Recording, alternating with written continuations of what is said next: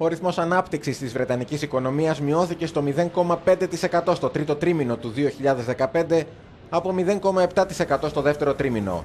Η αρνητική αυτή εξέλιξη οφείλεται πρωτίστως στην επιβράδυνση του κατασκευαστικού τομέα, η παραγωγή στον οποίο υποχώρησε κατά 2,2%. Η υποχώρηση παρατηρήθηκε και στην μεταποιητική παραγωγή.